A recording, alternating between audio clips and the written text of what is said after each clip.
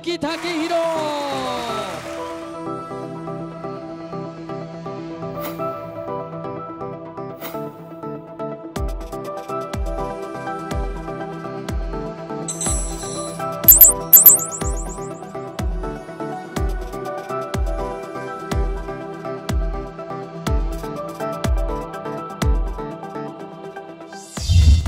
そうですね。自分はやっぱりノリと勢いで、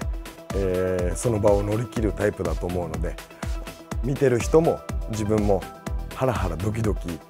するような試合をするおちゃらけたやつですかね。7のトリプルだと思います。クリケットナンバーやブルを言いたいんですけども、えー、どうしても19のトリプルと16のトリプルを狙うとその真ん中の7のトリプルに入ることが多いので、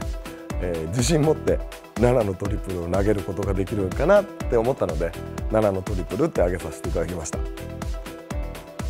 重心を親指と人差し指です。支えるために、えー、回転をさせて持っていってます。右足のつま先に、えー、の体重を乗っけるんですけどもかかとをちょっと浮くん浮かせるんですね。そうすると全体重が前に乗っかって体が前につんのめる。それを左足で踏ん張ってあの体が動かないように固定してるんですけど今まではねやっぱりスーパーダーツっていうだけであの気合が入って前日眠れなかったり、えー、気持ちが高ぶってしまうことが多かったので今年こそは意気込まない。そうすれば多分今まで例年よりもいい記録が出せるスーパーダーツになると思ってるので今年こそは前日はゆっくりいつも通り普通のいつも通りの一日を送ってみたいなと思います。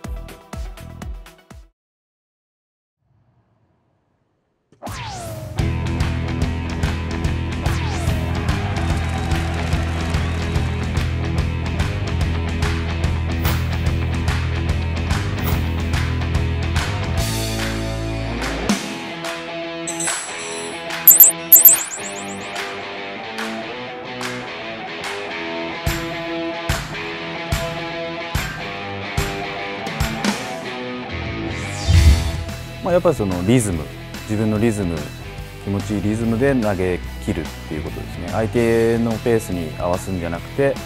自分のリズムをしっかり作って気持ちよく投げていればやっぱ自分のこのいつも投げてるような自然な感じで投げれると思うんでそれがやっぱり一番ベストのダーツを投げれる環境だと思うんでそこを意識しながら投げてます。やっぱりこう01ファットブルでやってって最後のフィニッシュがどうしても5-1が残るっていうんで、まあ、昔からよく練習してるナンバーでもあり、まあ、初心者の頃、ね、ハウスダーツでやりながら投げてた頃によく17入ってたんですよ。だからまあそこからずっと好きですようんフォーム。まあだからこう感覚？自分の中での感覚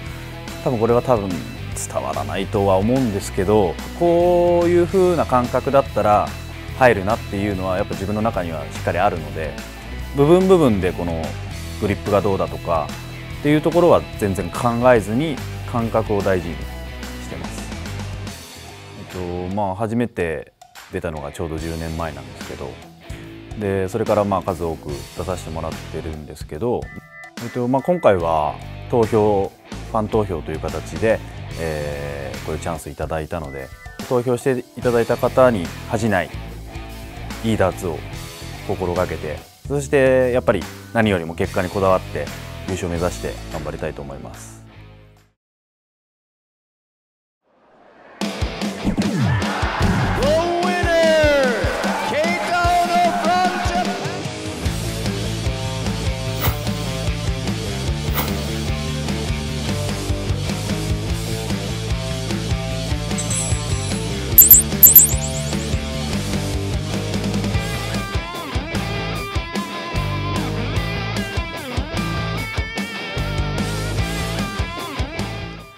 ですね。なるべくやっぱりこう自分のこう砕けた表情っていうのをやっぱりもう試合中出さないように心がけていてやっぱこうキリッとした状態でいると自分の試合にだけやっぱり集中することができるのでまあ、今回スーパーダーツみたいな大会っていうのはもう1台の試合を、えーと、たくさんの観客が見るっていうシチュエーションなのでもう僕からしたらもう本当願ったり叶ったりでもう一番あの自分のダーツが引き出せる環境だと思うのでだからやっぱその集中力っていう面でやっぱ、えーと、厳しい表情に見えるのかもしれないですね。トリプルに関しては、えーと、18のトリプルが18はもう練習してきたしやっぱ自分の中で一番いい状態で投げられてる時に一番いい入り方をするので僕は18トリプルが好きですね、えー、グリップに関してなんですがもともとは、えーと、こういうもうかなり深めの4フィンガーだったんですけれど、えー、それを、えーと、この薬指を抜いて、えーと、さらに親指と人差し指を浅くして今現状は、えー、こういう形の3フィンガーにちょっと変更をしました。えーまあ、実際これ中指薬指を抜いたことによって、えーと、やっぱどうしてもここの指でバレルをこう打ち上げてしまうというかそういう癖がちょっとやっぱ多かったんですけどそれがだいぶなくなったおかげでやっぱもう、えー、だいぶグリップも安定してでやっぱ浅くしたことによって指に力もちょっと入りづらくなったのでそういう意味では本当に自分の中で今グリップはちょっと完成してきたなっていう感じがします。そうですねスーパーダイツはやっぱりえー、世界で注目される本当に世界一を決める大会だと自分の中で思っていたのでやっぱり初出場できるっていうことが本当にもう嬉しいです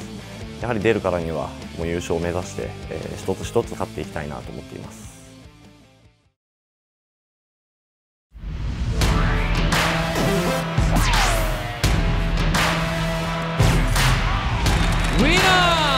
ナー安食健一